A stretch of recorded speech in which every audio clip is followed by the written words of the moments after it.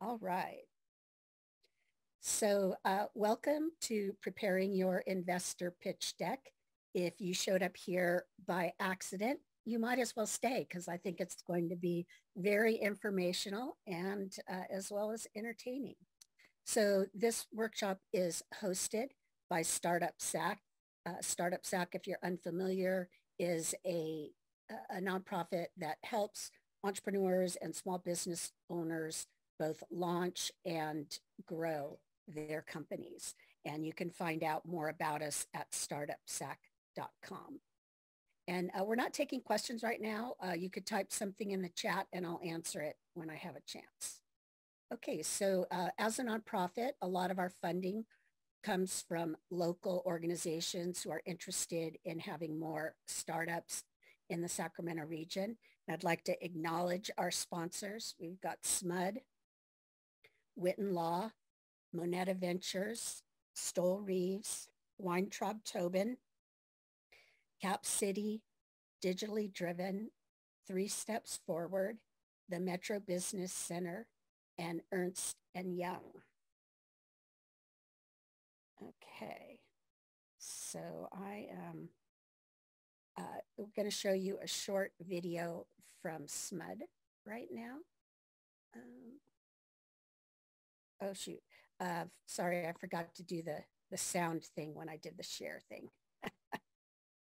uh, who knows what I mean by that? Let's see. Um, share sound. Don't you think that should be the default? Okay. So. Probably not.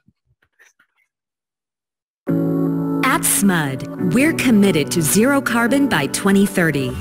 We're creating more energy from renewable resources, reconfiguring our power plants to improve air quality, electrifying our fleet, greening our buildings, and accelerating clean energy with our first grid-scale battery farm. The Clean Power City movement is happening. For 37 ways you can join the charge, visit cleanpowercity.org. All right, so thank you, SMUD. Uh, for those of you who don't know, uh, SMUD is SMUD supports uh, quite a few nonprofit organizations in the community. Uh, a, a, number of them are entrepreneurial support organizations, you know, as well as your classic nonprofits. So uh, thank you, SMUD, for all the support you provide. So um, as I mentioned, today's workshop is preparing your investor pitch deck. Our presenter is JDM, who some know as Josh David Miller.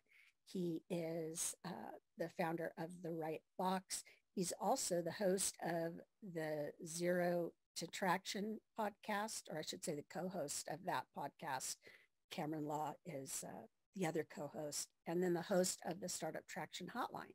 So if you like what you hear from Josh here today, then you'll want to uh, subscribe or check out those other programs that he does to help entrepreneurs.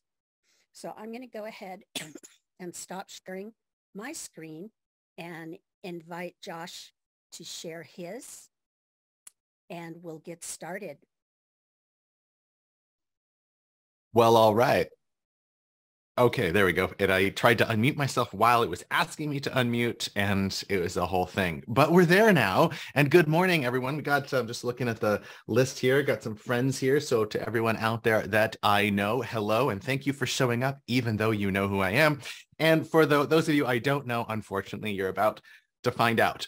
Um, but uh, we'll, we'll go ahead and get started here. Uh, I love the turnout, Laura. We got like 30 people here. So pretty, pretty awesome. Uh, I, I love that. Everybody always turns out to talk pitching. Um, so I'll try my best not to disappoint y'all with that. But uh, yeah, like Laura said, I'm just gonna go ahead and, and, share my, my screen, got some slides that we'll go through. I, am gonna talk for, I think about three and a half hours and then we'll take questions.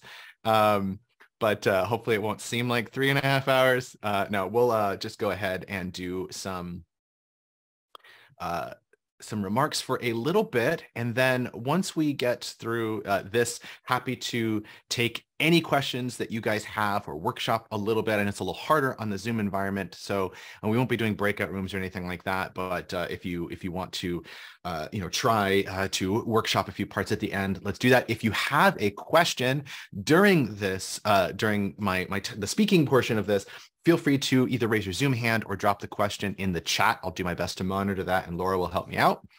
And uh, yeah, otherwise we'll we'll have space for for questions at the the the end.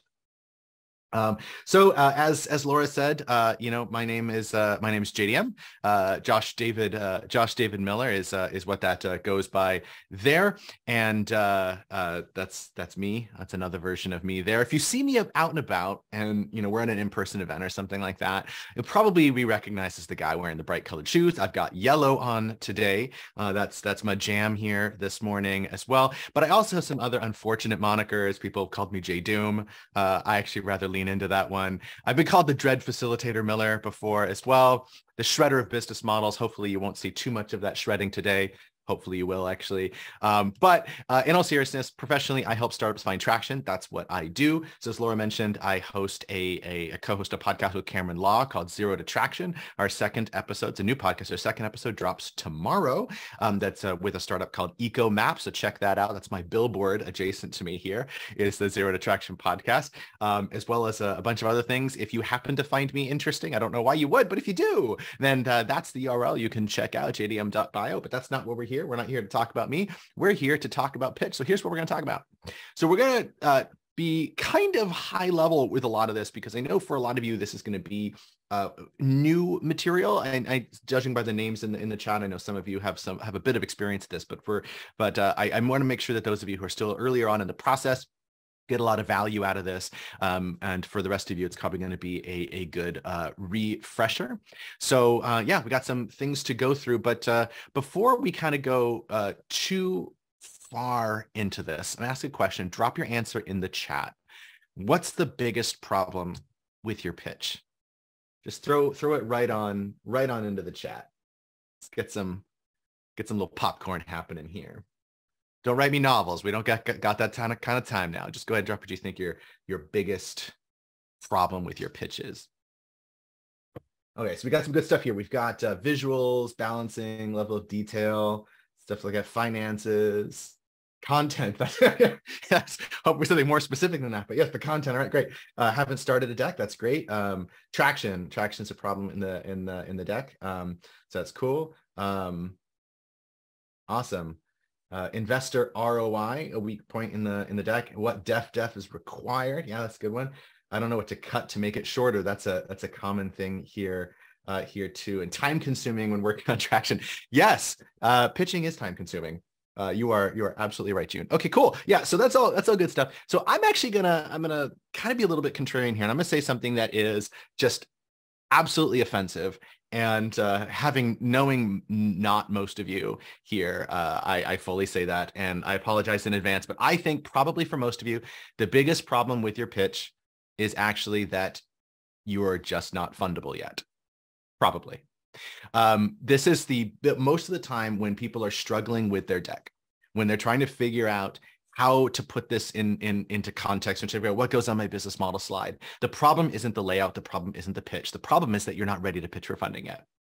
Um, that's not universally true. Of course, people are raising money all the time, but I do want to plant this seed in the in the back of your mind that there is the possibility that you're raising at a time when you shouldn't be. And because pitching takes so much time, you really want to consider whether or not that's the most efficient use of your time. As I like to say, don't uh, you know focus less on trying to get funding from an investor and instead focus on getting funding from your customer. Now that's not what we're here to talk about today, um, so, but I do want to just plant that seed into into the background. And so when we talk about this concept of uh, fund uh, fundability and what it means to be fundable. We're asking the question of fundamentally what are investors looking for? So uh, I imagine you guys have got some ideas there. Drop in the chat. What do you think investors are looking for? What are some of the, the kinds of things? Judging by your responses so far, it looks like traction uh, and investor ROI. It sounds like you've got some of that stuff in there as well. Um, yeah, uh, ROI, ROI. So yeah, so um, and uh, scale, team, uh, good ones as well. Um, yeah. So what what is it? Profit, of course, right? And, and any investors looking for that. And when they're looking to evaluate whether or not this is a good investment, when they're whether or not looking to evaluate whether or not they're getting an ROI, what do you think they're looking for? Traction and team, honesty. Honesty is a good one. That's not setting up, but character character matters for sure, June. Um, immediate revenue accrual. Okay, that deserves uh, an elaboration. Uh, maybe we'll get to that in the Q&A. The market, uh, yeah, it's good stuff. Looking for that. If I were to summarize what I think that investors are looking for, trustworthiness, yeah, so keep keep dropping those in, in the chat. Love that stuff. Um, if I were to, to summarize, I would use Alex Blumberg's definition as he says they're looking for a credible theory of hugeness. And I've uh, put footnotes for all three of those because those words are doing a lot of heavy lifting. So I'm going to break these down in reverse order, but investors are looking for a credible theory of hugeness. So taking in reverse order, hugeness is scale. So in order to get that return on investment for something that is really, really risky, this has to be something that has the potential to scale really large. We're not looking for you know 10% 15% 20% returns on investment. We're looking for 10x returns on investment. For those of you who are uh, who aren't good at math that's a thousand percent return on investment right? We're looking for really really massive returns because startups are very risky. When you're doing early capital, for example, in an investor portfolio. You're going to make, you know, say 10 bets in a year or something like that. Of those 10 bets, you know, six of them are just going to kind of fail. A couple of them will, you know, so you lost your money. A couple of them will kind of break even. And so that's fine, but it wasn't worth it. But you need the one that's going to actually get just absolutely massive and cover the rest of the portfolio. That's going to cover the spread. And so if you're not pitching for that scale, then that's that's an issue. So the first thing you're looking for is that scale. So in a credible theory of hugeness, you have to have the hugeness. But you also, because you're not big now, you have to have a theory about how you're going to get huge. You're small now, how are you going to get huge? So what is our plan to go from where we are to there? And one of the biggest weaknesses that I see in pitch decks uh, or it just in startup pitches generally is that they just completely lack a theory about how they're going to get there. It's like, we've got this amazing idea and give us money and we'll figure out the rest, right? Uh, that's that's not that's not right. This is where go to market and, and other things come into place. Like how you can get from where you are now to this really big state. So that's a theory of hugeness. But the last part is that it has to be a credible theory of hugeness. Uh, and that's doing a, the, the word credible is kind of doing a lot of lifting there. But at the end of the day, we're looking for evidence. And so you guys dropped a lot of this right into the chat. So we're looking for the, the total addressable market. So I'm going to give like the seven T's or eight T's uh, that I think investors are looking for in this kind of thing. And a lot of this will depend on your stage. So if you're doing a, you know, an angel round, like a pre-seed round, then your evidence is going to look a bit different than if you're doing a series A raise. Those are very, very different um, stages, but it's going to be some combination of these eight things. The total addressable market or the TAM, right? You have to have that again, that big market that you're going after. Think, you know, a market above a billion dollars. Like we're looking for really big market. The timing has to be right to attack that market, right? So timing's great for AI right now. That's pretty fantastic. Timing right now is terrible for crypto. So, right, what is the timing right in the market for you to to catch that rising wave? You don't want to have to be the first one to market. The first one to market gets bloody. Do you have the right team who can execute on this? Do you have uh, the the technology? And that doesn't literally mean technology, but do you have the uh, do you have IP, the secret sauce that's going to help you get this done? Do you have traction already from customers that's saying yes, this is the, the this is there's a there there, and we can kind of go after it? Do you have the ability to do 10x returns? Right. So can you can you actually get to those big returns inside of uh, inside of that total addressable market? Are you working on something that's transformative? And are the terms of the deal right? So like those are the those are the eight T's roughly. So TAM, timing, team, technology, traction, 10x, transformative or transformation and, and terms. Uh, those are those are the eight things. So you have to have that theory has to be credible. Those are all different ways of showing that not only do you have this this ability to get huge, that you have a theory about how you're going to get there, but that theory makes sense and is credible. So credible theory of hugeness, that's what an investor is looking for. So the rest of this talk is going to be entirely about how you get to that credible theory of hugeness uh, or not rather how you get to it, but how you how you talk about it. So let's uh, start, as I said, with some pitching myths. Uh, because I want to just get these out of the way so that the rest of this conversation just makes a bit more sense. So first myth is that uh, pitching to an angel investor is like Shark Tank. It's nothing like Shark Tank. And when you talk about Shark Tank, usually investors will roll their eyes. Some of them get offended um, because it's nothing like that in the real world. Um, Shark Tank isn't like Shark Tank. They you, are seeing I don't know what is it three five minutes or something like that, but it's like an hour conversation that they're in there that producers have edited down to three to five minutes. So it's not even an accurate representation of what really happened. But also it leads you to a bunch of wrong conclusions about what the point of investment is and what the point of an investor pitch is. So just take that Shark Tank thing out of in your head and just completely set it aside, completely discard it. Everything that you learn from Shark Tank is wrong. And some of this is covered by the other myth. So let's move on that you are pitching for investment. So that's right. We're talking to investors. This must be an investor pitch. I'm pitching for investment. And that's actually not true. What you're pitching for is a second meeting. So you go in front of them and you give your pitch and you get the, you know, 20 minutes or whatever to pitch. And then you get questions and everything else. The outcome of that conversation is not a check the outcome of that conversation is the is an invite to another meeting and that's what you're going for. You're going for the level of credibility and the level of information to say that this is an investment that is worth further conversation. That's the point of the pitch. And when you're in a room and you're pitching to say 20 investors that's obviously the point because what you're getting when you walk off stage is you want people to walk up to you and have that further conversation.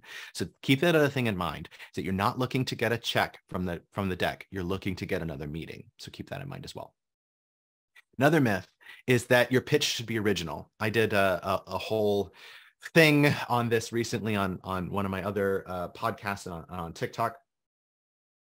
You, uh, so it sounds like my, is my audio cutting out a bit? Laura?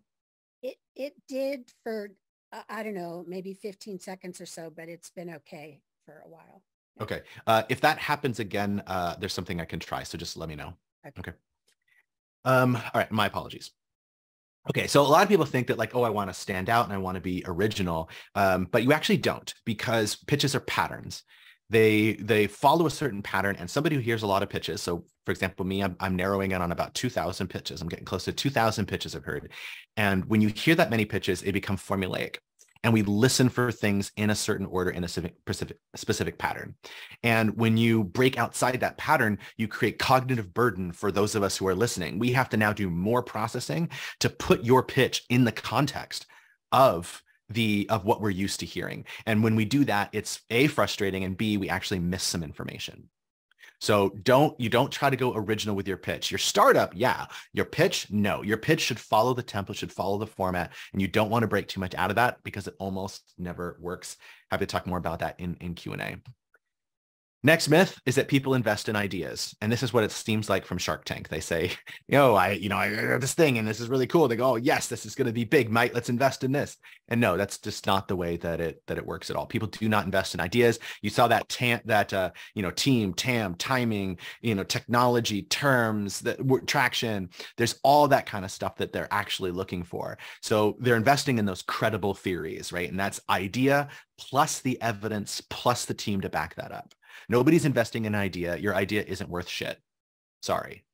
And again, with the number of pitches that I hear, uh, I hear the same ideas all the time. Your idea I've probably heard before, or some very close variation of your idea I've probably heard before.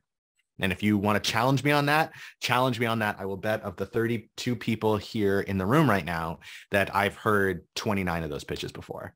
So, or something similar to them. And that's fantastic. That's not bad right? Because it all comes down to the execution, but it just means nobody invests time in ideas or nobody invests money in ideas. All right.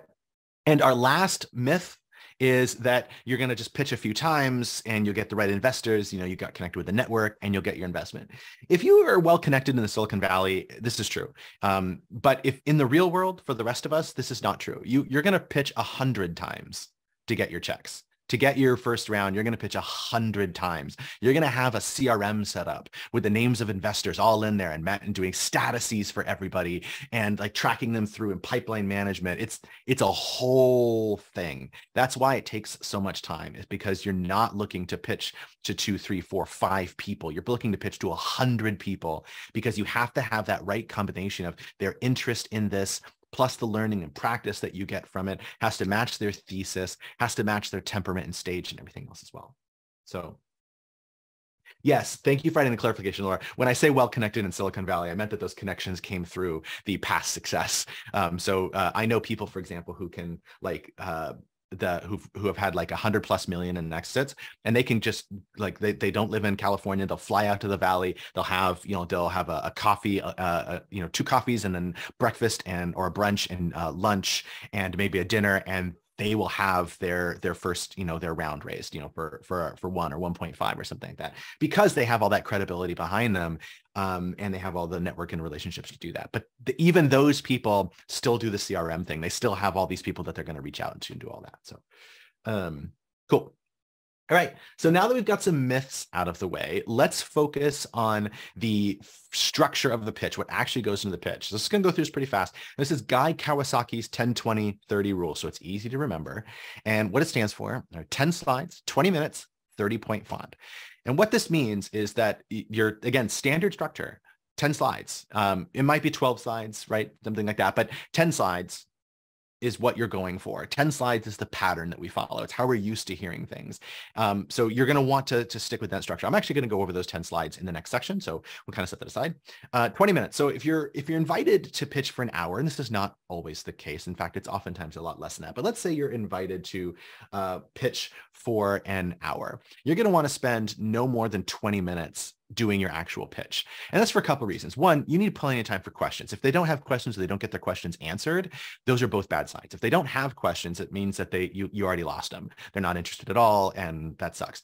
But if they have questions and they don't get to answer them, um, for because they're for for time that's also not great because then they're going to be left with whatever conclusion they already formed which might actually not even be accurate the other reason that you want to stick to 20 minutes is that shit happens. you're going to have trouble with the HDMI cables and everything else. And you just want to make sure that so you plan, if you're doing an hour with a, with investors, you're going to want to, to keep that down to, to 20 to 20 minutes. Um, and so from, from the chat, what about five minute pitches? Yeah. So in uh, five minute pitches are, are five minutes. Like that's what you want to, that's what you want to do. Usually if you have a five minute pitch, it's five minutes plus some additional time for Q&A. So you want to stick with the format. Uh, for example, we have our weekly 1 million cups, which I'll tell you about at the end for those of you who aren't familiar, but with 1 million cups, we have two presenters every week get six minutes. That's an odd number, but they get six minutes to talk about what they're working on.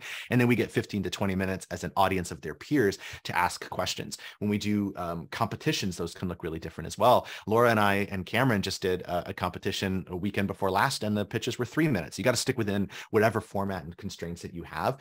And when you, if you're great questions. So if you if the slides are what you're concerned about, how many slides do I have? If you're doing a five minute pitch, you can do 10 slides. You're just going to go into a lot less depth. Um, if you're doing a three minute pitch, 10 slides is probably too many. But uh, so you're gonna have to play it by ear a little bit, but it's still the same structure, even if you're not doing that. And this is where the last one, the 30 plus point font really comes into play because uh, if you have any font that's smaller than 30, you're putting too much work or sorry, too much text onto the slide. And it's gonna be very difficult for us to actually, actually follow.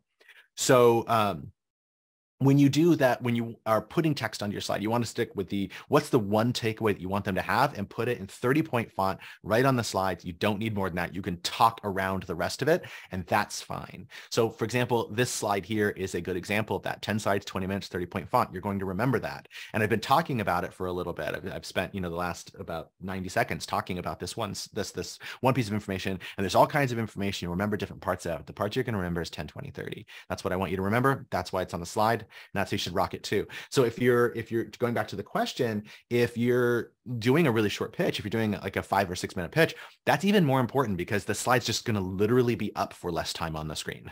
so you don't want to give them a lot to process. Charts and graphs and things like that can really get in your way. A lot of text can really get in the way. So 10, 20, 30, keep that in mind. Okay, and then Laura adds some clarification to the chat, so you can feel free to check that out as well. All right, so 10, 20, 30, keep your, follow the structure of 10 slides, keep it, and for an hour, pre, for an hour with a, of an investor, keep your pitch to 20 minutes or less, probably less, and then don't use any font that is smaller than 30 points.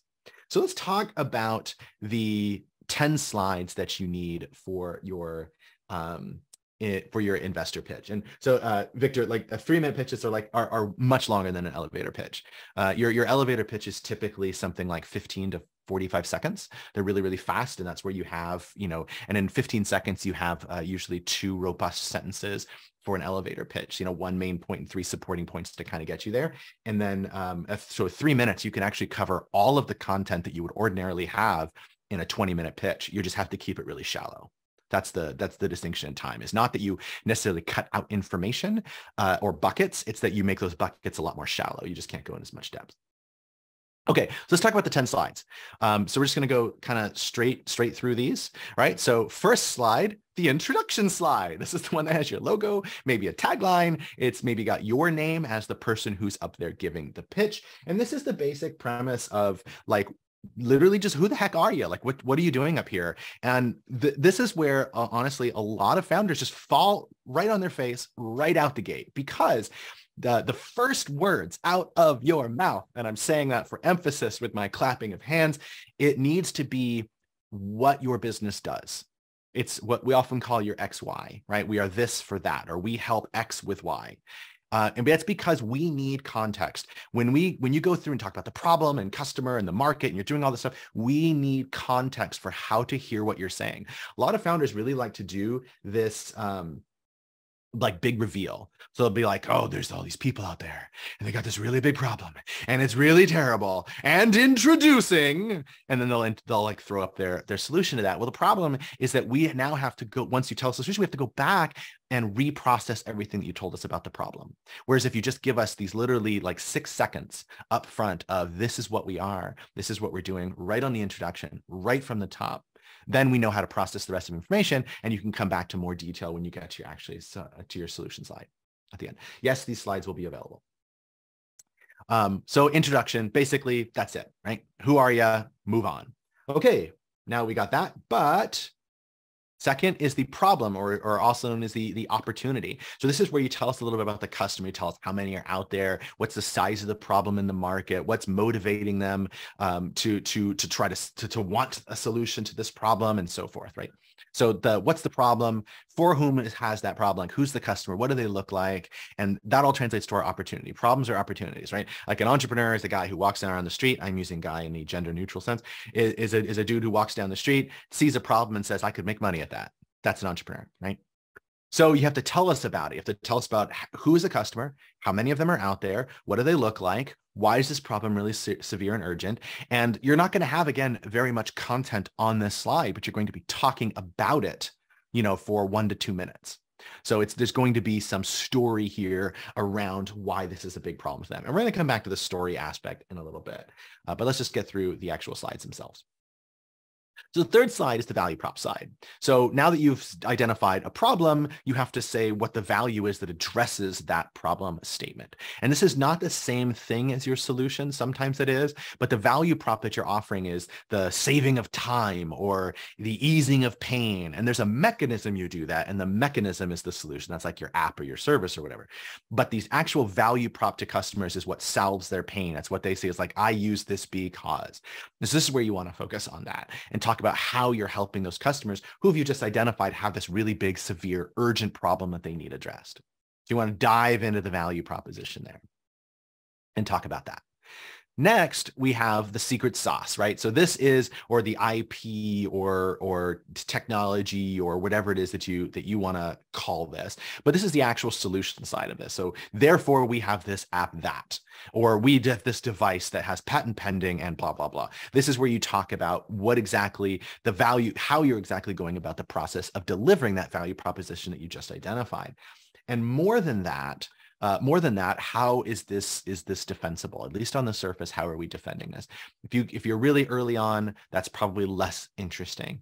If you're at the seed stage, it's interesting. If you're at Series A, it's super interesting. So that's kind of where how you want to think about defensibility there, right? It's like how are you gonna um, how are you gonna you know really get to the the how are you gonna create that value? How are you gonna deliver that to customers? Uh, that was a, it's a terrible thing when when bad things happen to good sentences, as just as you just witnessed. Uh, okay, so question from the question chat: If the, a lot of the content is said verbally, how are decks judged when submitted online? Okay, I'm going to come back to that in a minute once we get through these slides, but that's a really good question. All right. So after you have that, so we talked about the problem, we talked about the the solution, value proposition, and how we're delivering that here. Next is like really how we how we go make money That's what we really care about, right? So that's where you talk about the business model. Um, and this is a, a number of different questions that all have to be articulated at once as simply and cleanly as possible. It's from whom are you taking money? How are you taking that money? What is the dollar amount of the money that you're taking? Why is that going to make money in the long run? Because there's enough people out there, because you're getting it with regularity, right? Like it's a SaaS model. And so it's subscription based and it's recurring, or is it the, it's a razors and blades model, or how is that going to really, you know, how is that going to work, right? Why does this make money at the end of the day? There's a lot of information buried in that. One of my favorite examples of that, I should have actually included it here, uh, are the all the remakes that people have done of Airbnb's deck and I can drop that into the chat afterward. But the uh, Airbnb's pitch deck had three circles on it, and in those three circles, it just gave their three their three important numbers. That was how they were going to make a lot of money. So just if you Google Airbnb pitch deck, you'll find that in there, and it's it's nice and simple. Or I can drop it in the chat a little bit later.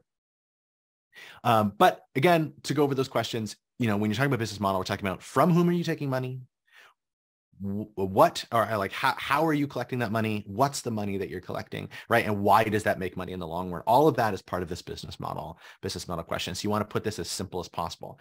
One of the common mistakes of a business model slide is that it gets it's bullets and it's a lot of text and it's all dense and it's hard to follow and there's no clear story. And this is as you can imagine one of the most important parts of your pitch deck if you guys all talked about roi before. The roi comes in the business model or at least part of it comes in the business model. So you got to really ground into that. Okay, business model. Moving on. Once you have these customers from you're solving some pain, you have a go-to-market, et cetera, et cetera. Um, or once you have a business model, now it's time to talk about go-to-market. So the, I'm going to say this by contrasting for those of you who aren't familiar, go-to-market with marketing, because they are not the same thing. They are actually basically diametrically opposed to each other right? So go to market and marketing are not the same thing. And what I mean by that is that while go to market uses marketing tactics, it emphatically does not use marketing strategy. So go-to-market strategy and marketing strategy are two very different things. So an example of marketing strategy, so I can say this by contrast, is that, you know, where a marketing strategy is we know our customers are Instagram, we're going to partner with influencers and we are going to uh, create, you know, do some Instagram ads, drive to drive to landing page and then optimize for conversion on that side. Reasonable marketing plan. Um, uh, or a, a 30,000 foot view plan was probably too strong, but reasonable, a reasonable strategy. As they go to market, it's shit. It's terrible. It's awful. It's awful, awful, awful. And it's awful for a couple of reasons. The first reason is that it's very, very, very generic. It's very like hand wavy. Um, it just, it just there. And even if you start getting more specific and you start talking about, okay, what's our cost, you know, our customer acquisition cost? How much is it going to actually cost to get a click on this thing? And then what's it going to cost to actually convert them at the end? What does that transit? Even if you have data on that, which if you're, you know, basically in the seed stage or earlier, you probably re- don't have any information on that, then um, it's just, you're just making shit up and saying, we'll figure it out later. And that's just not very worthwhile. The second reason it really sucks is that you're also saying that you're going to buy your first customers. Like the way you're going to go get your early customers, the early adopters, is actually just to go pay for them, which kind of is a red flag because they're, it's only going to get more expensive as you go along. And so you're already starting out the gate by spending a ton of money. So marketing doesn't really work super well in this context.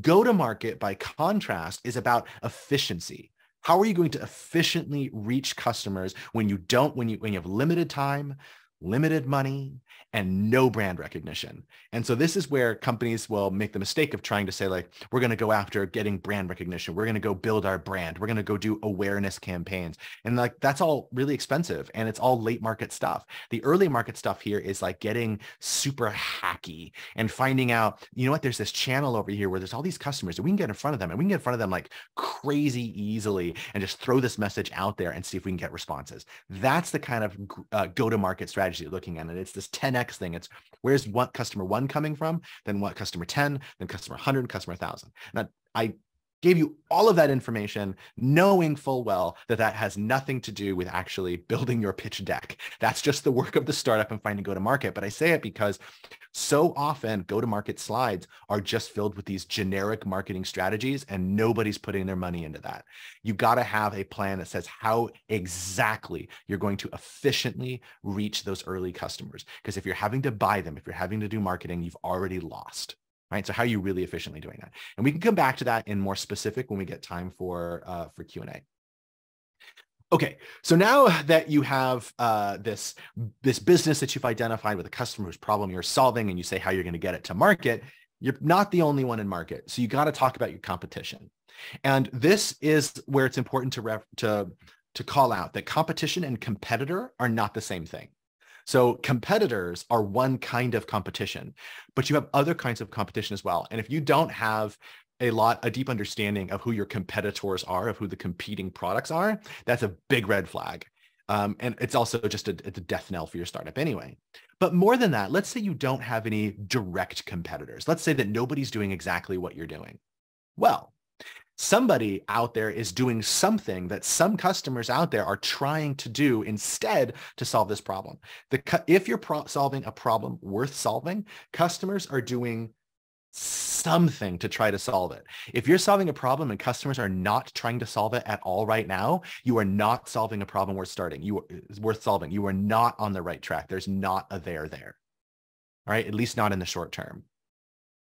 Um, so what you want to do is find out what our customers doing that is not you to try to solve this problem how much money are they spending on that right? Are they are that's one way you can talk about competition is that our, our particular customer segment our niche is spending x dollars trying to solve this problem right? It could be that they're they're doing this and that and but they don't really match you know what we're trying to do in our unique value proposition. That's where you see the x y's right? Where you draw like differentiator one differentiator two and then you're up here all by your lonesome i guess it's on this side all by your lonesome in the in the upper uh, right quadrant of uh, of the graph there all by yourself because you called out how you're different than all of the competition, et cetera. But if you're going here and you and you start saying you don't have any competition, investors have already decided no. You can't say you have no competition because you either do or you're not solving a problem worth solving. Okay. Um, can I go into more detail of that? Because a lot of examples of what not to do, and what not to do. I assume that was in reference to the go-to-market, uh, judging by the the timestamp of the of the comment. But let me know if I'm wrong there. And then yes, the answer is is yes. We can talk about that. But the um, just to give the the surface answer here is I can't tell you what to do because your go-to-market plan is going to look different for every single company. That's why it's focused on what you don't want to do. Um, but this is going that your go-to-market is going to have, um, uh, let me uh, make up a company and then tell you what that might look like. So to, let's say we have a, I'll just use an easy example. Let's say it's a food truck. You're doing a food truck business. Um, and this is like your, your way of uh, doing a new restaurant concept, but we're to do a food truck try a new kind of fusion food to serve a particular area, see if that worth worthwhile. Um, so, um, so okay, so that's our that's our thing here. Well, we've already teased part of the go to market is that we have this big vision for something much broader. We have this big vision for how we want to do this new restaurant fusion that's going to serve this particular area. One of the ways we're going to market is through a food truck. So we're not jumping straight to the restaurant. We're going to the food truck first, getting customers there. That'll give us the validation we need to open a restaurant. So that's number one. But number two is now we say, okay, what's our, what, how are we going to go to market again? Think 10X, right? 1, 10, 100, 1000. So how do we get in front of the food truck in front of customers? Well, the way we're going to get, you know, people using this is we're going to go to these particular se- underserved sectors. Like there's these places where all these people hang out around lunchtime and there's a dearth of options for, for lunch there. Nobody's uh, nobody's serving them right now. There aren't a bunch of food trucks there. A lot of the restaurants that are in the area are sit down. They take a long time, and based based on based on you know our research, these people really want something faster, and it's every single day. You know, it's five days a week that we get this thing. So that's how we're going to go to market. Is like we're going to actually get out there in front of these customers to do that, and then our next step is that's the kind of thing that you're talking about. It's how you actually going from where you are now to going in a market in a really, really efficient way. Again, that'll look 100% different based on what your what your startup is. Um, it could be based on relationships. It could be based on um, the uh, It could be based on a niche that you've been able to identify that's really underserved, that's very difficult, or that's uh, very easy to get in front of, right? As that's part of a larger market that's difficult to get in front of um, because they're all attending the same types of conferences, right? So you might be going to conferences to get these things. Uh, a, a friend of mine has a startup that's doing really well right now, and they get like just crazy high conversion rates when they go to conferences. Makes sense. Um, so things like that, like is how we actually going to efficiently get in front of customers. So some, um, so uh, yeah, like guerrilla marketing. Yeah, I don't like the term guerrilla marketing for this uh, because to me, guerrilla marketing, and this might not be what you're saying at all, Rodney, but like for me, guerrilla marketing conveys a um,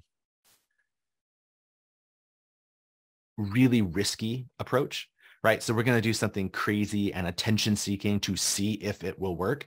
Now, the guerrilla warfare is not like that, right? Guerrilla warfare is, you know, is about using your your size as and your small, your relatively small size as an advantage. Um, it's asymmetric warfare, and in that case, I 100% agree. So if we're talking about that, then I absolutely focus on that, um, as opposed to uh, as opposed to like the the the crazy like let's just see if we can get some crazy plan to work you know? If you're go to market plan actually some of the the probably i don't know maybe the second or third most common go to market strategy i see in a, in a slide deck that is also one of the worst go to market strategies ever is they'll say we're going to we're going to create content on social media and we're going to get popular.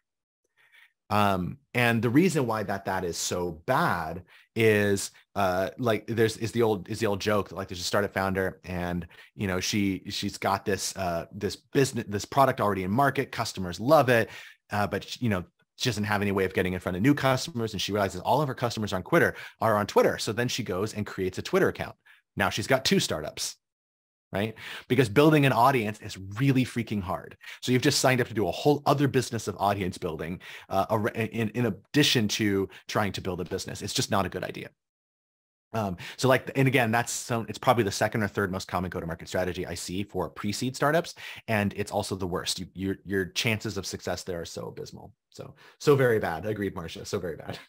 Um, just not good uh, not at all good. All right. Um, so there. Oh, so then we talk about competition. Don't ignore your competition. This, you, like you gotta you gotta know who your customers are are, are using, and you gotta be able to articulate who they are, um, how much they're spending on them, how much time they're spending on them, or what the appropriate metric is, and why you're better, why you're different.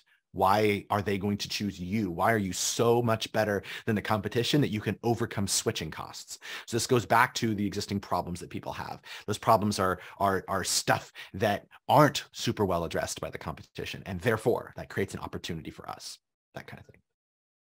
All right, 70% of the way through here. Let's move on. Uh, 80 or eight, eight in the 80th percentile here, we have team.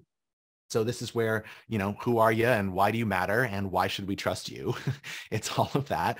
Um, and it's not just the people who are, say, the co-founders, although that is important. That's obviously most important to your co-founders. But this is also where you can say things like uh, strategic partnerships or advisors um, that you've been able to collect along the way, because these are other people out there who who you can whose credibility you can borrow so if you get like a senior VP at Microsoft with deep experience in this particular field and they decided to be an advisor on your team, that's pretty cool, right?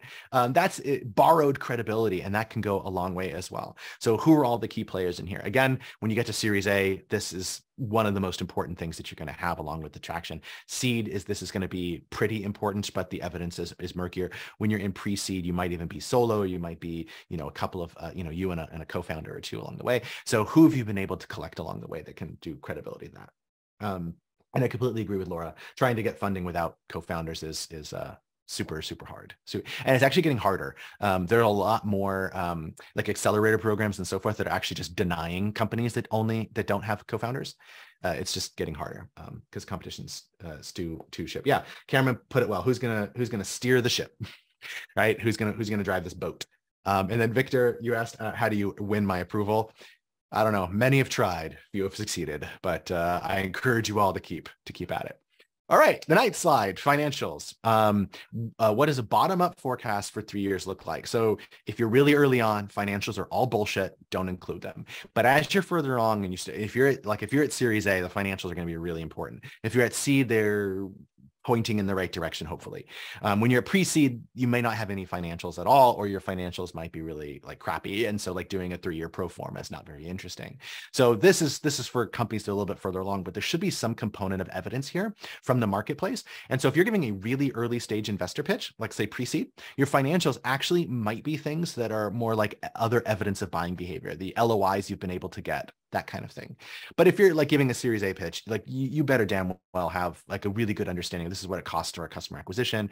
This is what, uh, this is what the switching cost is. And here's how we overcome that. And then, you know, et cetera, et cetera, et cetera. So a lot that you've got going on there. Um, yeah. Um, cool. And I think there was a question in the chat here. Yeah, uh, which Laura answered well. So I will just leave that uh, as is. Okay, and then lastly, the 10th slide is the is the ask. So this, uh, if you're pitching to an investor, a pitch is to pitch for something. So for what are you pitching? This might be uh, if you're you know pitching for capital. This is this is going to be the, the exact amount that you're looking to raise, not from this one investor, but this is the size of the round. What's your progress and like how much of that round is is is still open or closed, um, and then exactly like how what does that mean in terms of what you're working on. So you could have terms in here as well, um, meaning like the the the actual uh, like the vehicle. You know, is it a safe, for example? Is um, are you know what is the um the the equity, the valuation? There's other things that might go into and in, to this as well. They'll definitely be part of the conversation either way. Um, but aside from that, the a really important thing and part of the ask is the use of funds. So you're asking this money in order to do what? So what is that going to get them at the end of the day?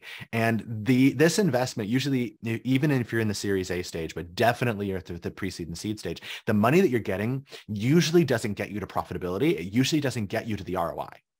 What they're looking for is how you're getting to your next raise. How are you getting to your next round with your company increasing in value? Um, so like we're this is going to give us an 18 month runway, and uh, at which time we'll raise our Series A, like something like that, right? This is this is what we're trying to do with that. That's how that works. Uh, the ask is for my approval. That's right. That's right. But uh, aim aim a little lower. Aim aim a little lower. Um, okay. Um, a suggestion for an 11th slide, investor highlights summarizing why they should invest, unique features of the company, people, market, technology, et cetera, uh, six to eight key points. Um, yeah, so uh, depending on on who you're pitching to, and we'll get this to a minute, some things like that might be uh, might be interesting or or might not be. They're going to depend a lot on on context, investor thesis, and so forth.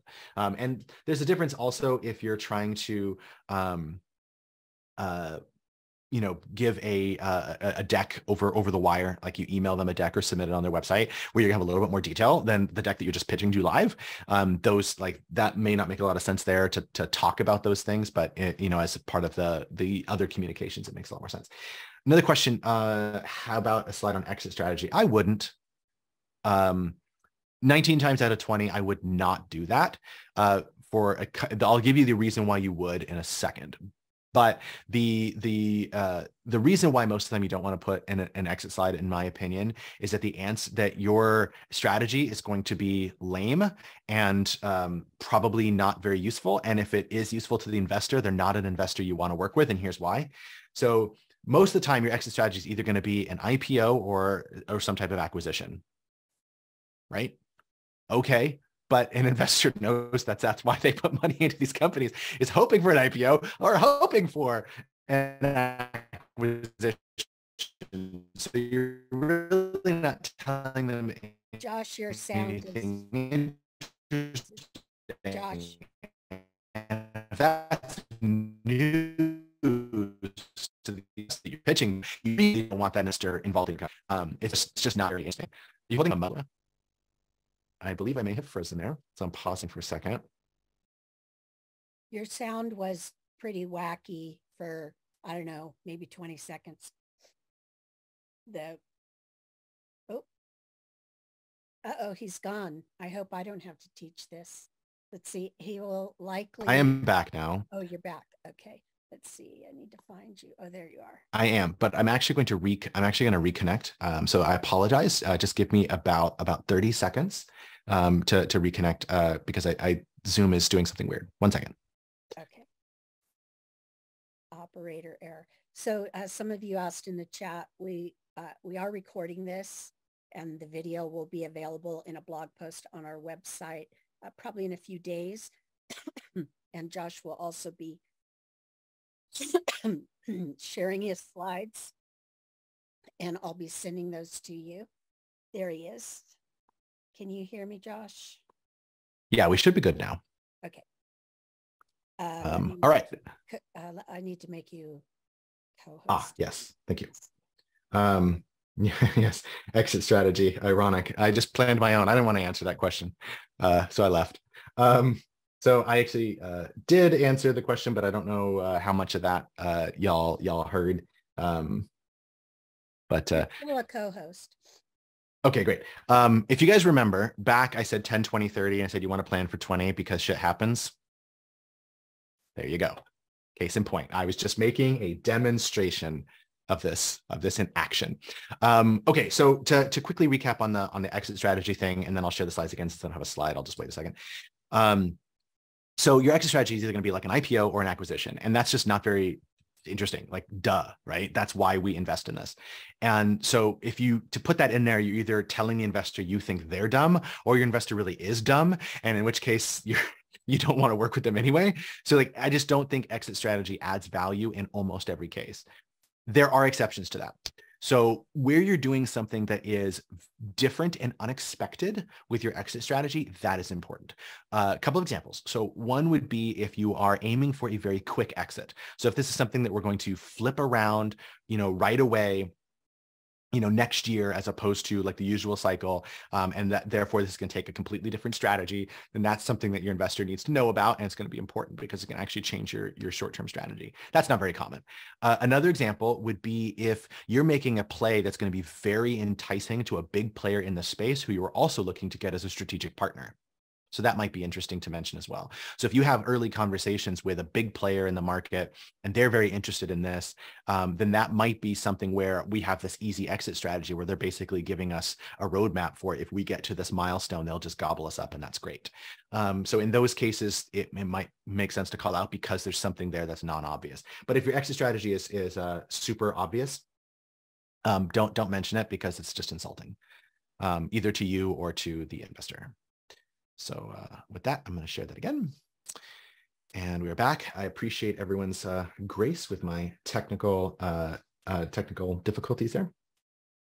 Uh, how about explaining exits and valuations or similar companies? Yeah, I actually think that that can work. So if you're if you're actually just trying to articulate that there's a there there and other companies have done something similar, then you can use the exits uh, either as evidence of timing or evidence of problem. There's a lot of ways that you can use that information to do it. But because you want to be doing something different, it's dangerous. And I know you're not implying this, but it would be dangerous to say something like, um, um, like we can do this because they did uh, because you're trying to do something different or hopefully you're trying to do something different um, but yes uh, mentioning similar exits uh, can actually be good evidence of, of, other things and yeah we'll do uh, we'll do uh, verbal questions in a minute we're actually we don't have much more to go in the in the talk um, Okay, uh, so that's that. So let's move on. That was the 10 slides. So let's move on to the importance of storytelling, right? So storytelling is, is really important. And everybody says, oh, pitches are stories, pitches are stories. But one of the things that I want to call out is there's actually two stories in your pitch. And people often ignore one of them. Um, so let's kind of talk through those real quick. So the first is the story of the customer. This is where we get meet Jane. Jane has this problem. Jane, blah, blah, blah, blah, blah. Then Jane uses our amazing product, and now Jane's life is amazing. Uh, that's great. That's a that's a good story. If done well inside of your pitch, that can be really powerful because stories resonate with people. We're people at the end of the day. Anybody listening to your pitch is a person too. Uh, at least for now, AI hasn't taken over that yet. So um, uh, the, as they're hearing that, like those things can resonate well. You got to be careful. You're not taking up too much time or giving irrelevant information, but telling the story of the customers and and, and putting it into a person that, that you can identify and point to uh, makes sense. It also helps with the conversation. It helps to talk about the customer uh, by by just using a name by saying, well, see, the problem is when Jane tries to use competitor X, then what happens is, and so everything kind of lands a little bit better. So the story of the customer is really, really important and, and really interesting here. And this is hero's journey stuff. This is where the customer is the hero and you're the you know, the wizard, you know, that they meet along the way who's directing them, but the customer becomes the hero of their story and it's all that. So they're not your audience though in this kind of pitch, right? The the customer's not the one listening to it. Um, so they're we're telling that story in order to help us talk about the there that's there. So when I talk about a story, um, when you and I are having a story uh, or uh, wow, okay, starting that again. When I am talking about the story of the startup, most of the time I'm actually talking about uh, something completely different. And so I'm actually going to do this by visualization. So let's go back right on back. Hopefully nobody gets motion sick with that. All right, go back to uh, the this thing here, right? So there is a standard structure, a standard pattern we're usually hearing this. And I'm going to take the entire pitch, there's 10 slides, and I'm going to compress it to less than 60 seconds so that you can see what I'm talking about here. Okay, so here we go. All right. So we are amazing company. We are X for Y. There's this customer out there and they have this really big problem. And, you know, and, and Jane has this thing and there's a lot of Janes out there actually, and that creates an opportunity for us. And so we want to help Jane by blah, blah, blah. And we're going to do that because we have this really cool app that uh, allows us to X, Y, Z. And uh, we make money by charging Jan a monthly fee that costs blank, blank, blank. And we know it can grow to this kind of size market, but Jane can be kind of hard to get in front of. But the really cool thing is that we found this, this unique path of getting in front of a lot of Janes because blah, blah, blah, blah, blah. And Jane isn't really well served in the real world because, uh, you know, the, we have this other competition, but they kind of drop the ball in these particular ways. So that creates a really cool opportunity for us. And you know that we can kind of pull this off because not only do we have these cool co-founders with this background, but we got these amazing advisors kind of backing us up. And, you know, we've also got some evidence like that we're on the right track here in terms of the numbers. And here's kind of a hint about where we're going here. And all it's going to take from you is, right? So let's do great things together. That's the story of the startup. And so when we're talking about the the uh, stories inside your pitch, make sure you're you're like this one here is optional. The story of the customer is optional. The story of the startup is not optional. If you fail on this point, you won't get funded.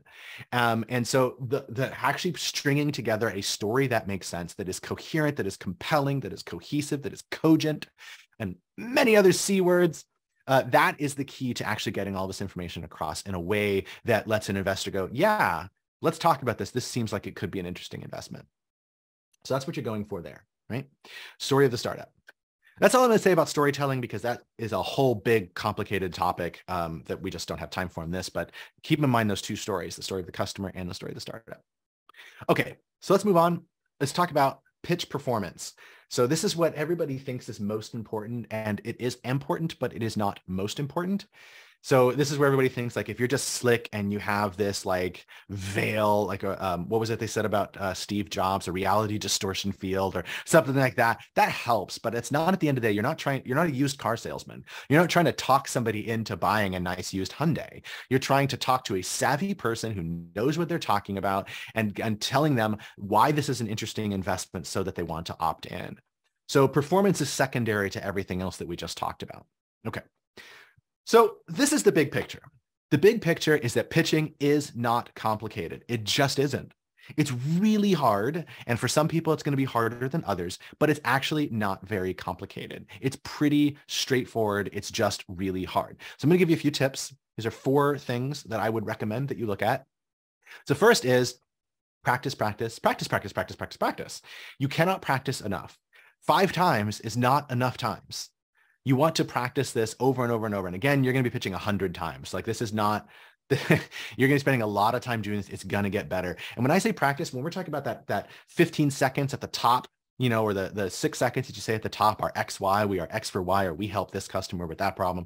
With that thing can take a long time to get right. The first three, four, five times that or four five iterations are probably not right. So this is where you want to pitch it to freaking everybody. You want to pitch it to your barista at the coffee shop. Like they'll say, oh, uh, you know, they're, they're nice people. Baristas are nice people. They are. So when uh, they say, um, how are you today? You, you say, I'm great. I'm just actually working on working on my startup today. They're nice. They're gonna and they work on tips. So their follow up question will be, "Oh, what's your startup?" Right? So this is when you give them that six seconds, be respectful of their time. But this is when you give them that six seconds and you can tell by their face, you can tell by their eyes, you can tell by their follow-up whether or not it landed with them at all. And landed with them is very different than they found it interesting. Those are two completely different things. They're probably not your customer, right? But did it land? Did it make sense? Did it, did it, did it resonate? Did they go, oh, okay, yeah, that's kind of cool, right? Or whatever. Practice, practice enough times, but do not write a script.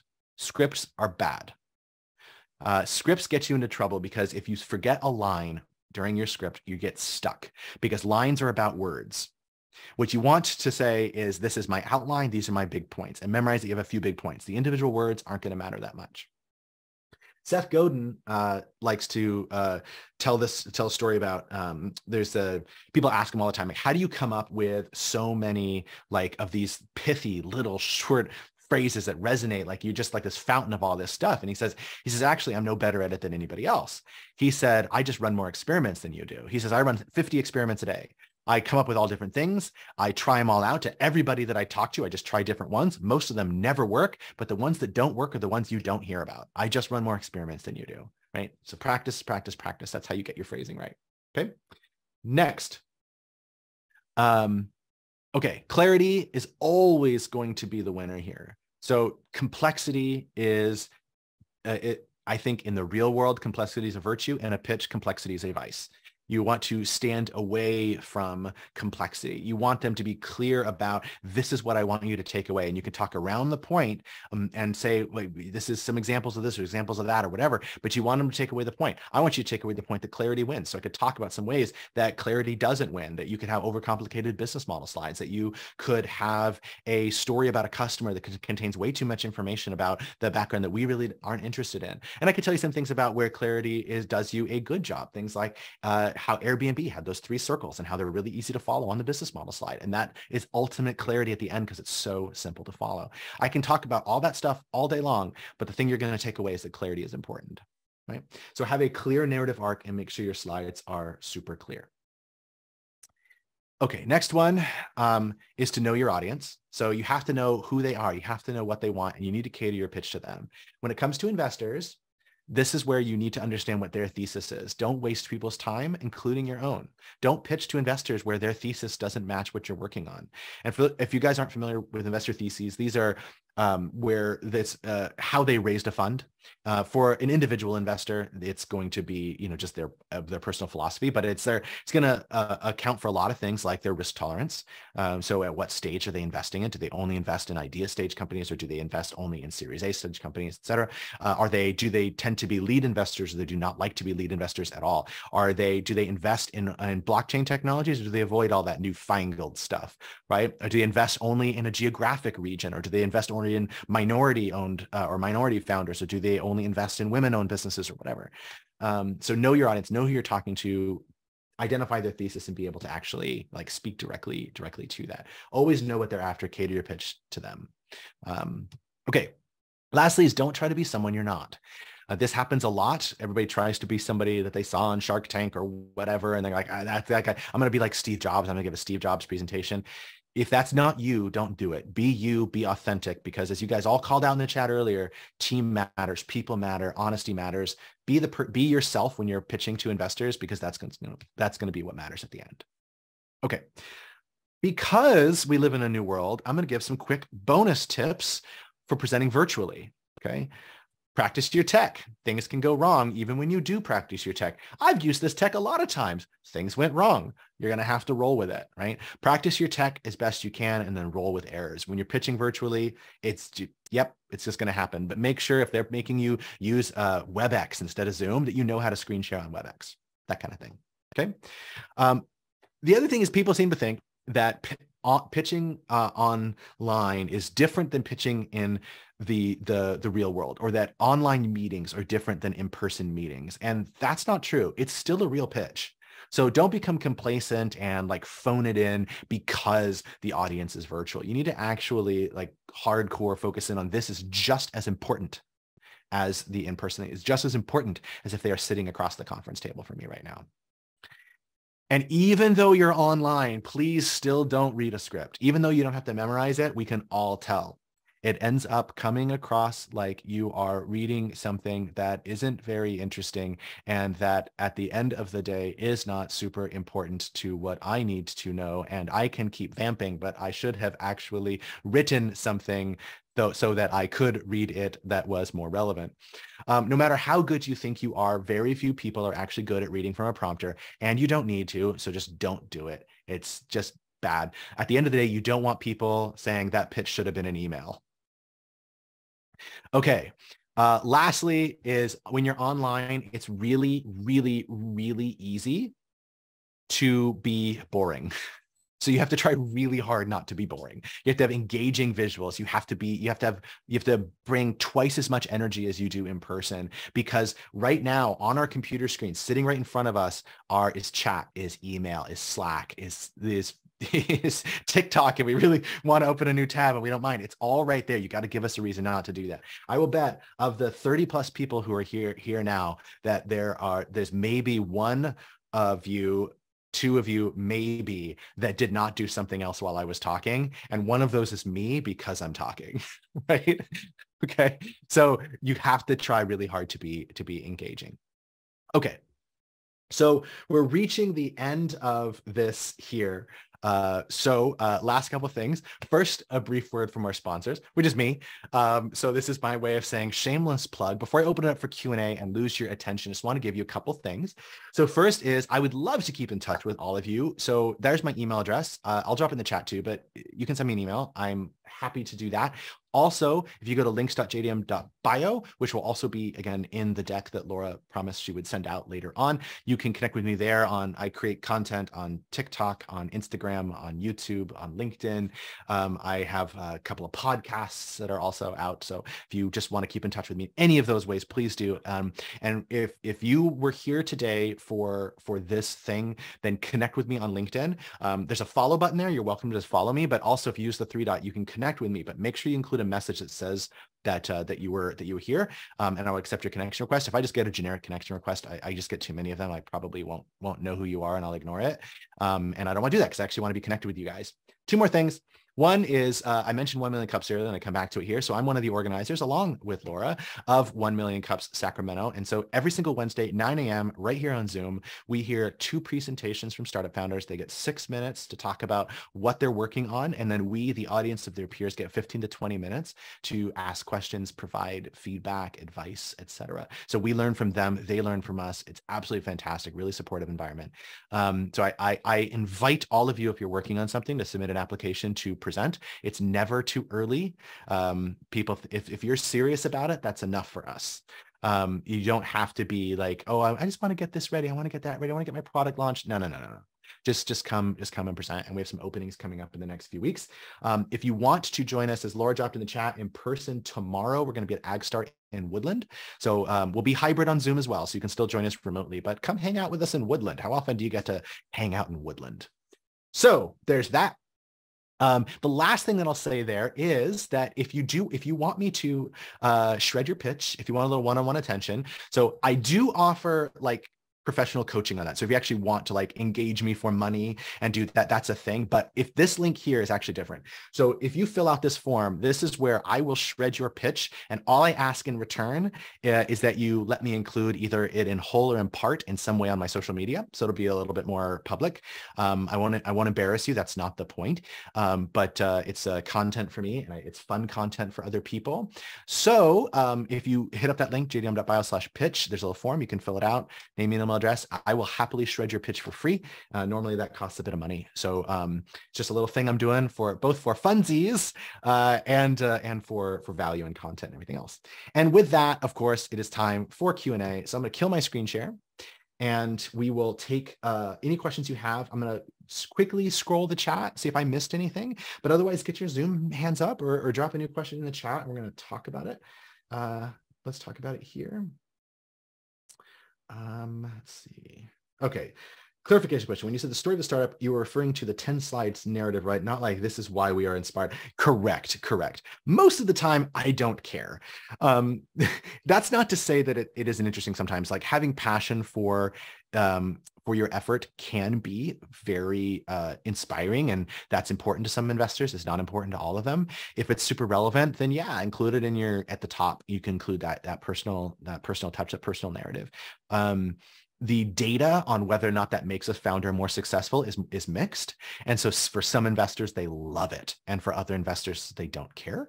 Um, but i was yes referring to the story of the business itself and and and how that shows up in the in the slides okay, does the order of the slides matter? Um, yes, it matters, but do they need to be this specific order? No. This is a common order, but it's it's pretty common to shake it up. Some reasons to shake it up are going to be if you're at a stage where this tells a less compelling story. So you may want to put less emphasis on like your product roadmap if you are not in market yet. That's less interesting.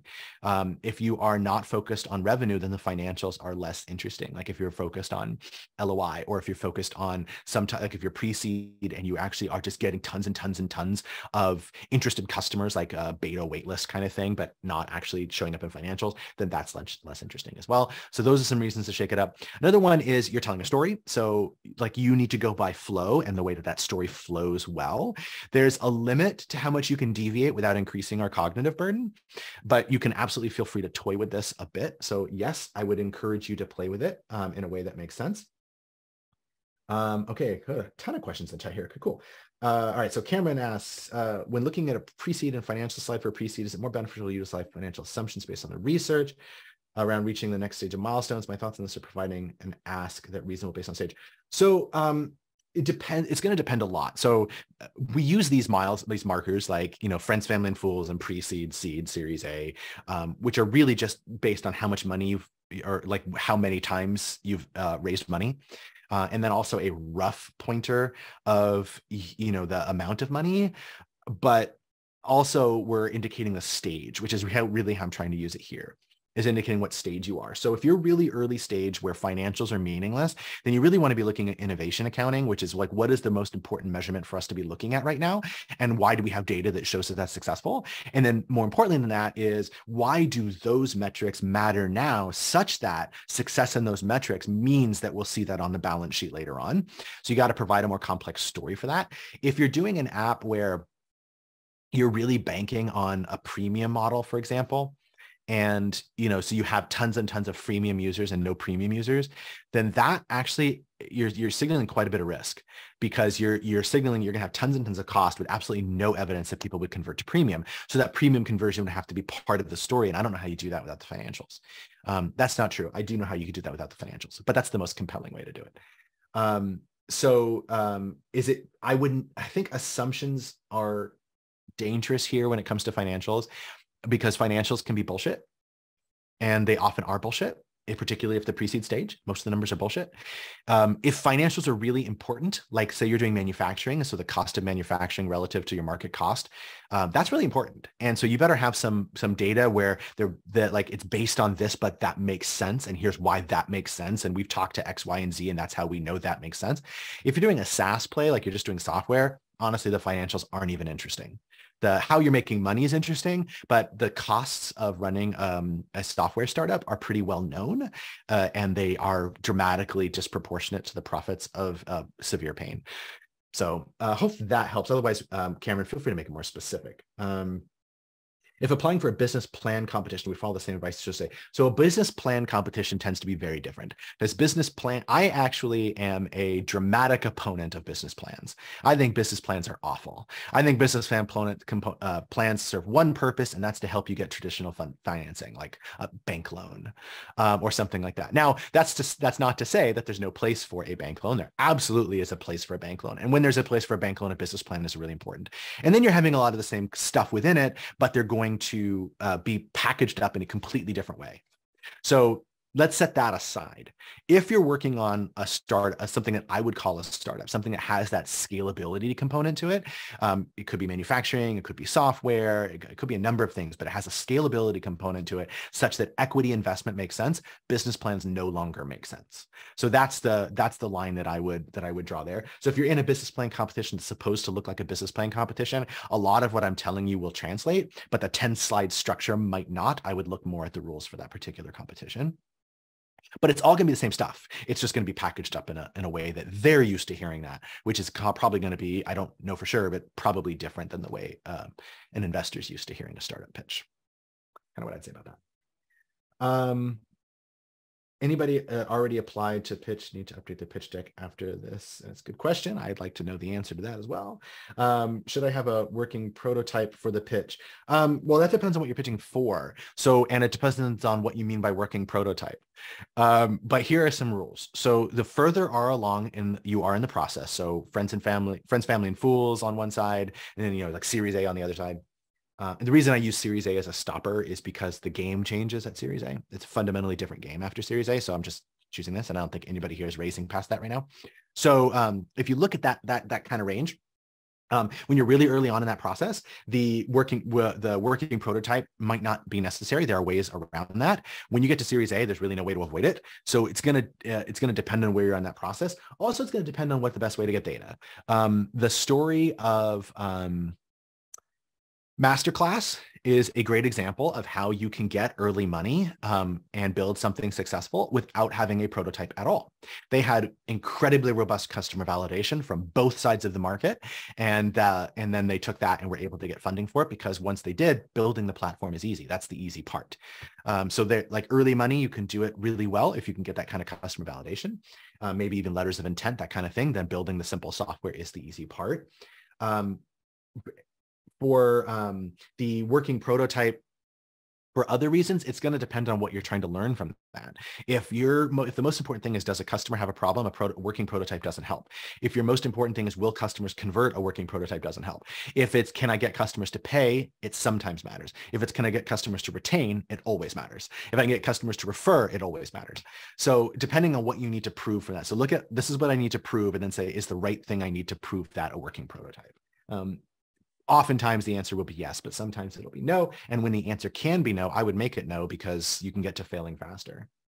Um, Laura answered the question about pitch length. Um, does the pitch have to be for a product or an app or about a consulting service? Um, I'll let Laura take any questions that are specific to uh, Pitch Elk Grove. Uh, but this kind of format works for any kind of equity investment, which is less common for things like consulting services, but is potentially doable. Um, and I would say, yeah, go ahead. you're entering a, a business plan competition or a pitch competition like Pitch Elk Grove, read the information on, read the rules and the information provided on the site because most of your questions can be answered there. Cool. Um, Franklin said uh, banker, landlord, and you are the only three that will read your business plan. So it's important that you understand that you put it on the shelf. Yeah, I would agree with that. Um, okay, for pitching, can the two or more co-founders be an equal level? Should there be one decision maker for investors? Um, That is a, I, I actually don't think I've gotten that specific question before in doing this, but my, my answer would be, I think it's not different than almost any other kind of startup decision, uh, is that there's going to be ways to, to do it. Um, and I'll talk about that in a second, but first, quick aside, I, my, one of my, uh, my first startup, scalable startup, not my first business, but my first scalable startup failed spectacularly. I made all of the mistakes. And but one of them that I made is that that kind of hamstrung us is that my co-founders and I could not agree on whether or not we wanted to raise equity investment. So I was in the camp that we were going to need this if we wanted to scale, um, and so we needed to build toward getting to equity investment. And the other group did did not want to raise equity investment ever. And we we had four co we had four founders total, so we were split 50-50, which meant by default that's not raising equity. And because of that, that changed our whole strategy. And I don't know if that was the right decision or wrong decision. Like I said, we we made every other mistake we could make as well. Um, but because we weren't on the same page about even our approach to the process, that's a signal that we were actually poorly uh, poorly fitted to be co-founders together right because that's it's just not going to work well and that's going to apply to a lot of different things so if you guys are all on the same page about wanting to raise equity investment then it's going to um, uh, it's going to have to be something that um, that you take like any other decision. So somebody's going to be pitching, but the investors are probably going to need to meet your co-founders anyway.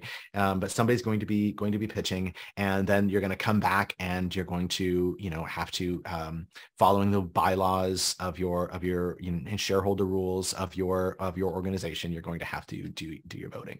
Um, so you're actually making changes to the cap table, um, which is uh, correct me if I'm wrong here, Laura, but I think that usually takes a vote of the shareholders. Yes. Well, depending on your bylaws, but I would say yes.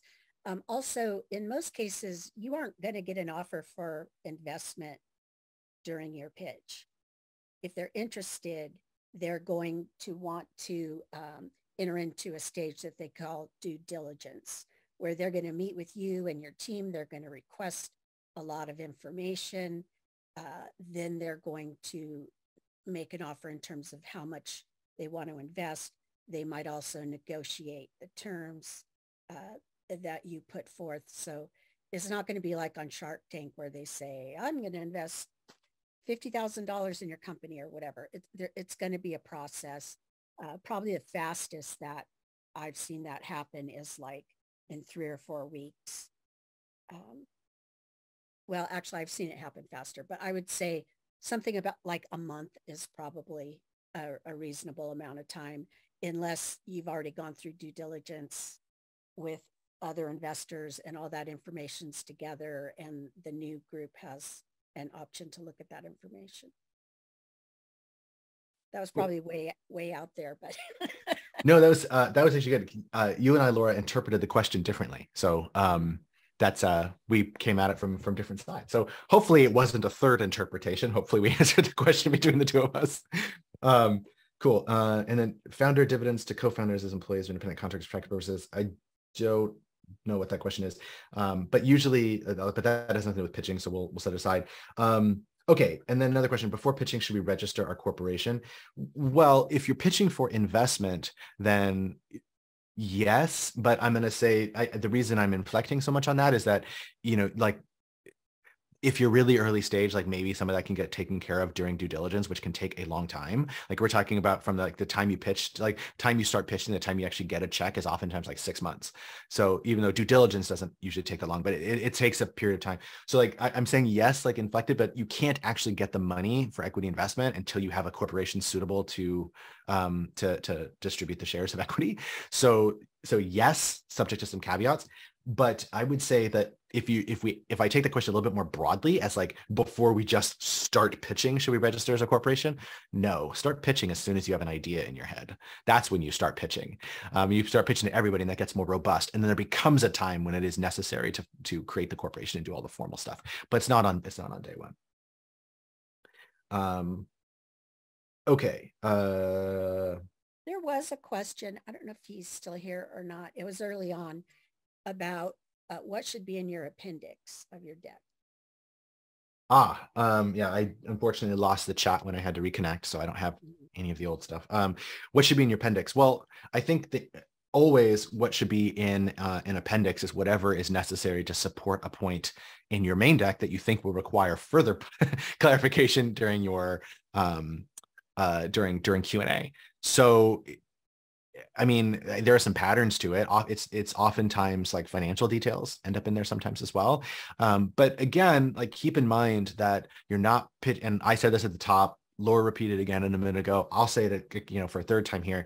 You're not pitching for investment. You're pitching for another meeting, right? You're pitching for the follow-up conversation, which means that like you don't. Your goal isn't to give them all of the information that they need to decide a firm yes during this conversation.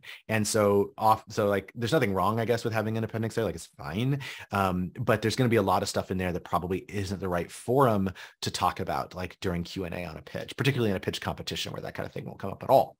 Um, the amount of times that I see appendix slides used successfully or well, I mean, during pitch competitions or demo days or anything that's highly structured like that um, is pretty small. Uh, it just doesn't come up that often. It's usually clarifying something that was already talked about because it wasn't clear, not clarifying it because additional detail in the form of a slide is what's really relevant. But there's sometimes. Um, so yeah. Yeah, and um, I'd say if you're if you're invited to pitch to an angel group or VCs, um, a lot of times what I've seen in the appendix is more detailed financial data. Yeah, like performance and stuff like that end up in there. Yeah, or details um, about patent or something like that. So. Right. Yes. Yes. And I think there's also a difference between pitching live versus like submitting a pitch, right? Like right. some of that more detail is going to end up in the submitted version and they'll end up in the live version. Um, a slide on on on the details of your patent is not something we really want to sit through, but uh, something we probably want to know is there.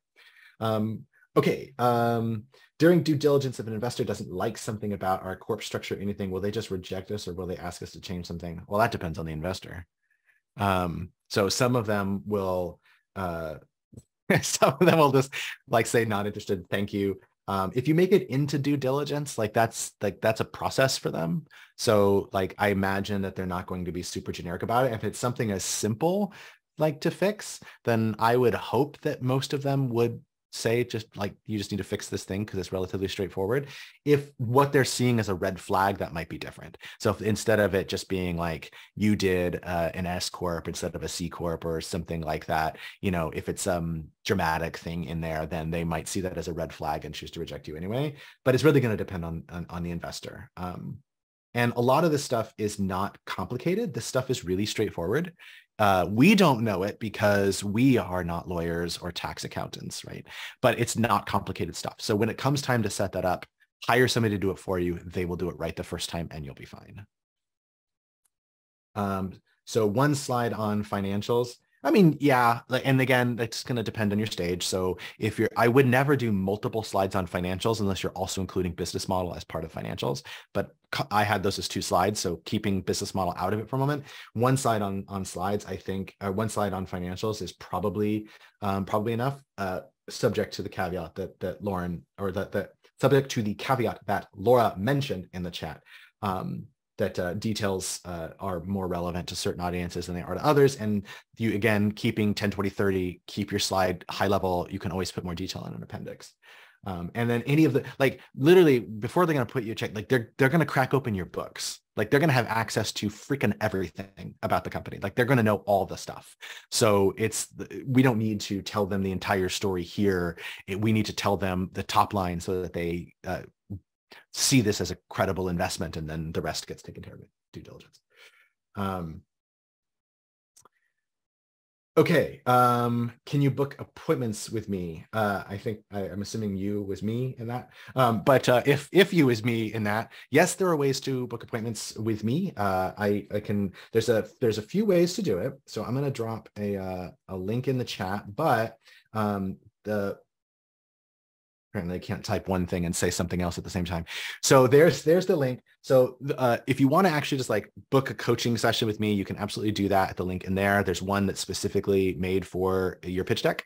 Um, I have others on business model and on prototyping and so forth. So if there's something interests you there, you can certainly do uh, do that. Outside of that, though, outside of like a, a, professional coaching relationship, there are a couple of ways. So one, I'm at 1 million cups almost every week. So if you want to present at 1 million cup and get some feedback that way, it's a great way to just get some kind of low key thing and make some cool friends. So you should do that anyway.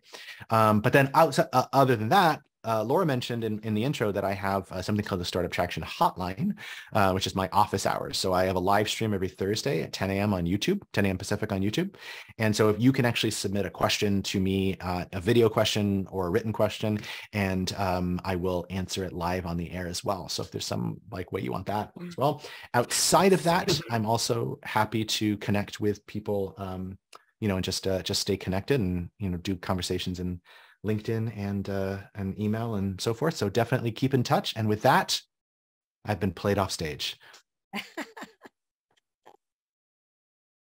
not not off stage. We're just about out of time though. So I wanted to uh, respect that for the people who need to leave at one. Um, first, I want to thank Josh, uh, JDM, so much for sharing this information with us. We'll share the slides and the video with you in the next couple of days. For those of you who aren't familiar yet with Pitch Elk Grove, it's a contest happening here in the greater Sacramento region. And uh, you, you can go to the link that I just posted in the chat and find out more information about uh, who the ideal candidate is, how to apply, uh, all of those things. Um, I'll stick around a little bit if you have questions after that. Then I uh, also want to let you know that, whoops, um, you can check out the past, the archive of past office hour sessions on the Startup Sac website, and I put the link in the chat. and then, as Josh mentioned, check out 1 Million Cup Sacramento. It's, sorry, it's a great way to continue this conversation around, uh, you know, presenting your company. And then I invite you to sign up for the Startup Digest, which I curate, comes out every Monday morning. And it's got information about everything that's happening for startup founders and small business owners. And then we also have a Facebook group that you're you're welcome to join. I think that's it there. So let me stop sharing. So well, thanks for letting me hang out with you guys. Yeah, for sure. Um, I'm going to go ahead and stop the recording. Stop.